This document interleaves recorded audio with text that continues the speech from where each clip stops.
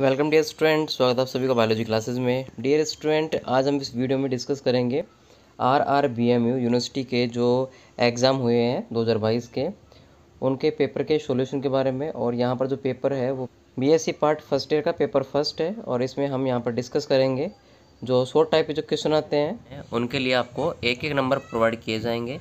अगर आप first question में दस क्वेश्चन देखते हो छोटे तो आपको प्रत्येक के लिए एक एक नंबर यहाँ पर दिया जाएगा और आपको ये दस नंबर मिल जाएँगे।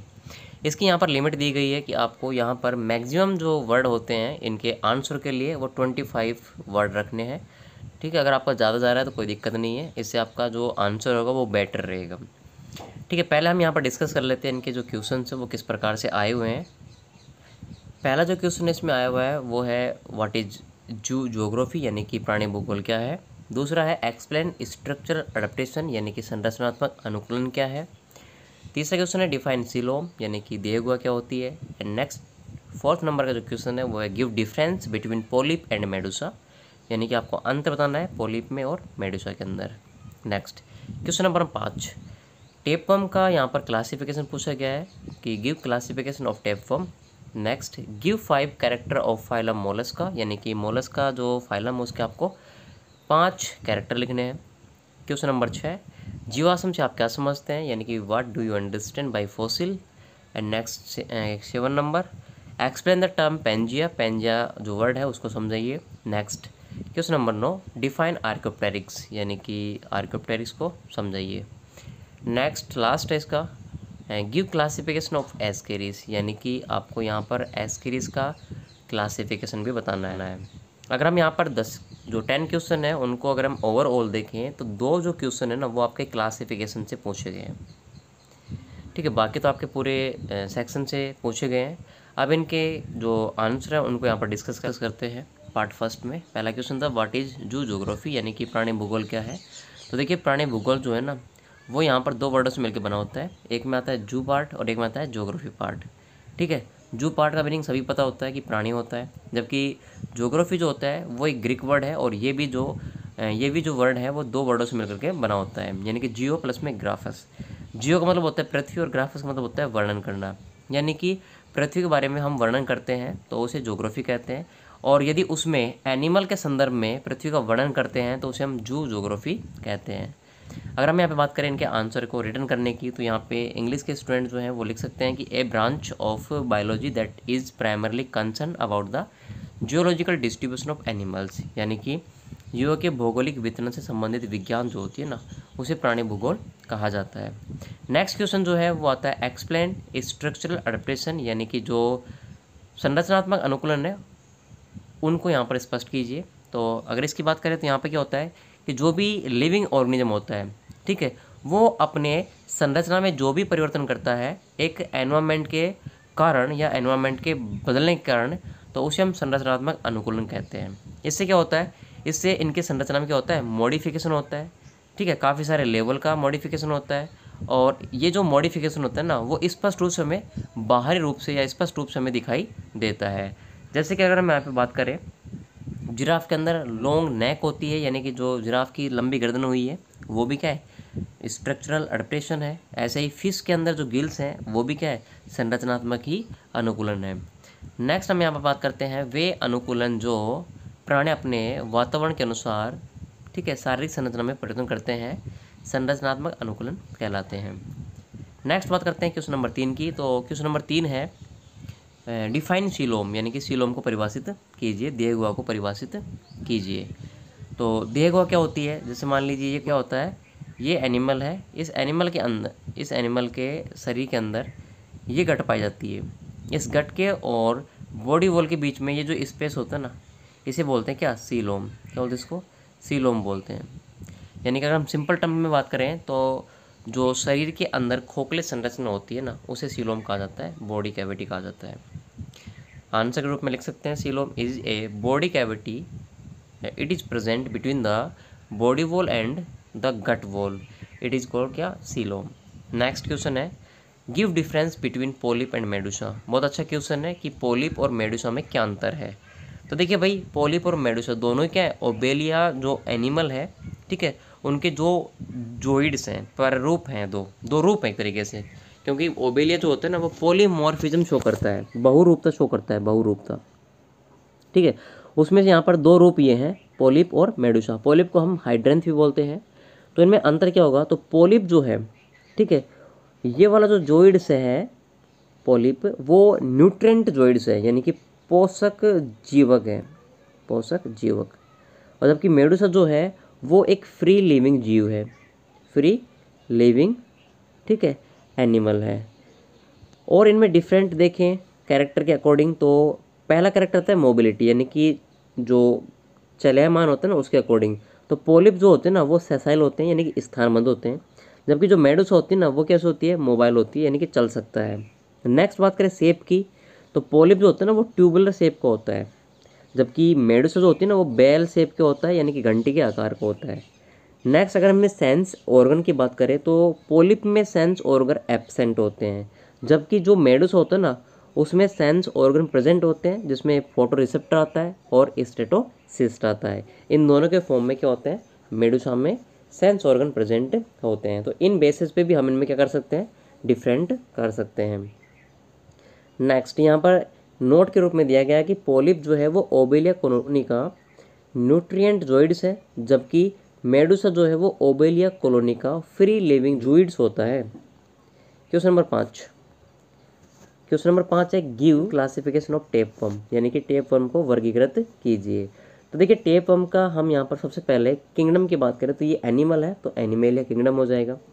फाइलम की बात करें तो प्लेटी हेलमंथी जिसका फाइलम हो जाएगा, यानी कि चपटेकर्मी जो है।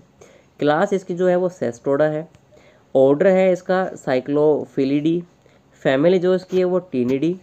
और जीनस जो इसका है वो टीनिया और स्पीसीज जो है वो डिफरेंट डिफरेंट टाइप्स की होती है, जैसे कि टीनिया सोलियम और टीनिया सेगिनेटा राइट ये क्या है? Taenia saginata. तो इस प्रकार से ये जो टेपम है, उसका क्लासिफिकेशन है। आप इजिली इसको याद कर सकते हो। Next question number six give five main character of phylum Mollusca यानी कि आपको मोलस्का के पाँच कैरेक्टर लिखने हैं। काफ़ी सारे इसके कैरेक्टर्स हैं बट हम यहाँ पे मोस्टली पाँच कैरेक्टर यहाँ पे इंक्लूड कर रहे हैं। First character is mostly found in marine and fresh water animal अगर आप मोलस्का की बात करोगे तो ये मैराइन और फ्रेश वाटर में पाए जाने वाले एनिमल हैं।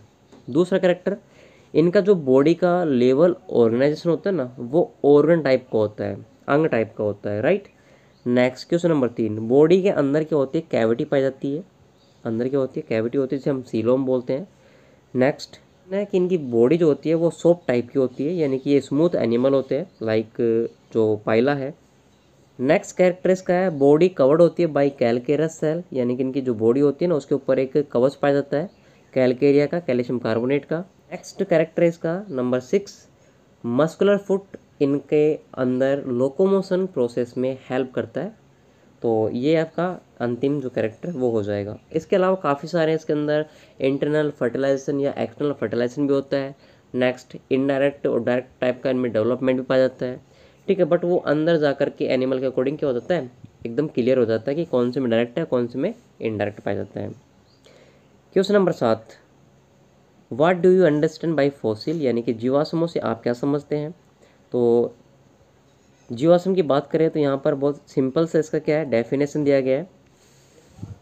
खोदने पर जो अवशेष हमें प्राप्त होते हैं ना, उन्हें हम फॉसिल कहते हैं। अगर इसको और भी डिटेल में समझोगे आप तो कोई भी पदार्थ जो किसी भी काल में या किसी भी युग में या किसी भी युगांतर में, ठीक है, रहने के पश्चात, ठीक है, किसी कारणवश वो नष्ट हो गया और नष्ट होने के पश्चात वो हमारे पृथ्वी में एक परत के रूप में जमा हो गया और उन परतों को हम यहाँ पर अब खोद करके बाहर निकालते हैं। तो वो जीवाश्म कहलाता है। क्या कहलाता है वो? जीवाश्म। और ये स्पेशली एनिमल और प्लांट के दबने के कारण ही हुआ है। तो फॉसिल आर द रिमेन या marks of plants animal that live a very long time ago. यानी कि बहुत साल पहले ये रहे होंगे। They are usually found in rock and stone. और ये चट्टान और एक पत्थर के रूप में हमें क्या हो रहे हैं? स्पेशली प्राप्त हो रहे हैं। तो ये फोसिल कहलाते हैं। नेक्स्ट क्वेश्चन है क्वेश्चन नंबर आठ. Explain the term of Pangaea Pangaea शब्द जो है, उसको परिभाषित कीजिए। तो देखिए पेंजिया शब्द बहुत सिंपल है। आप इसे आराम से समझ सकते हो। हमारा जो पृथ्वी है, ठीक है, या फिर भूभाग जो है, वो किसी टाइम एक खंड हुआ करता था, यानी कि एक ही पीस था, जिसे हम लॉरेशिया के नाम से जान रहे थे फिर क्या हुआ कि जो कंटिनेंटल ड्रिफ्ट होता है, महाद्वीप विस्थापन होता है उस कंडीशन के कारण जो हमारा ये पृथ्वी का जो टुकड़ा है, वो टुकड़ा दो भागों में टूट गया। कितने भागों में टूट गया? दो भागों में टूट गया, जिसके एक पार्ट को बोला गया गोडवाना लैंड भाग, जबकि दूसरे पार्ट को बोला गया पेंजिया पार्ट ठीक है? तो अब हमें पूछा गया है कि पेंजिया क्या होता है तो हम सीधा बोल सकते हैं कि पृथ्वी का, ठीक है डिवाइड होने वाला एक पार्ट पेंजिया है, जबकि दूसरा पार्ट क्या है? गोडवाना है। तो इसे हम सिंपली लिख सकते हैं कि पेंजिया वाजे सुपर कंटिनेंटल यानी कि ये एक क्या है? उप महाद्वीप है, जो कि that existed during the late Palaeozoic and early Mesozoic era जो कि एग्जिस्ट करता था लेट पैलोजोइक में और अर्ली म्यूजोइक एरा के अंदर। अगला क्वेश्चन आता है, क्वेश्चन नंबर नो डिफाइन आर्कोप्टेरिस यानी कि जो आर्कोप्टेरिस है, उसको समझाइए। तो आर्कोप्टेरिस क्या है? आर्कोप्टेरिस एक प्रीमेटिव टाइप का बर्ड है, पक्षी है, ठीक है, जिसके फैदर पाए जाते हैं but it is fossilise skeleton लोक्सी यानी कि ये जो है, केवल एक जीवाश्म के रूप में हमें प्राप्त हुआ है more like that of a small dinosaur जैसे कि एक तरीके से छोटा डायनासोर हो, उस प्रकार से। तो ये क्या होता है? आर्कोप्टेरिस होता है। वैसे इसको आप अलग तरीके से बता सकते हो। कि भाई रेप्टिलिया और एविज के बीच की योजक कड़ी जो होती है, वो आर्कोप्टेरिस होती है। सबके लक्षण भी थे और पक्षी के लक्षण भी थे, लेकिन इसमें ज़्यादा लक्षण जो है, वो पक्षियों के होने के बावजूद इसे पक्षी के अधिक क्लोज में रखा गया है, सो इसे आर्कोप्टेरिस कहा गया है। Question number ten. Last question है, पार्ट फ़र्स्ट का। गिव क्लासिफिकेशन ऑफ़ एस्केरिस, यानी कि एस्केरिस का हमें क्लासिफिकेशन देना है। तो देखिए, फीताकर में जो था, वो टेपवर्म जो था, वो प्लेटिलमेंथिस का था, जबकि एस्केरिस जो है, वो एसके हेलमेंथिस का एनिमल है। यानी कि उससे थोड़ा सा वेल डेवलप्ड एनिमल है ये। किंगडम एनिमिलिया रहेगा इसका फाइलम एसके हेलमेंथिस रहेगा क्लास निमेटोडा रहेगा इसका। सारी बुकों में आपको इनका जो फाइलम है ना, वो डायरेक्टली ही निमेटोडा देखने को मिल सकता है, कि इनका फाइलम क्या है भाई? निमेटोडा फाइलम है। नेक्स्ट ऑर्डर की बात करें तो एस्केरोइडी फैमिली की बात करें तो एस्केरिडी और जीनस की बात करें तो एस्केरिस स्पेसिस जो है इसकी वो है लुम्ब्रिकोइड्स, ठीक है? ये इसकी क्या है? स्पेसिस है लुम्ब्रिकोइड्स। तो इस प्रकार से हमने यहाँ पर बीएससी पार्ट फ़र्स्ट ईयर के पेपर फ़र्स्ट के जो पार्ट फ़र्स्ट आता है, उसके सभी कंपलसरी जो क्वेश्चन हैं, उनको यहाँ पर सोल्व कर लिए हैं, ठीक है? नेक्स्ट वीडियो में हम डिस्कस करेंगे बीएससी पार्ट फ़र्स्ट ईयर के, सेकंड पेपर के पार्ट फ़र्स्ट शॉर्ट क्वेश्चन के आंसर के बारे में। Música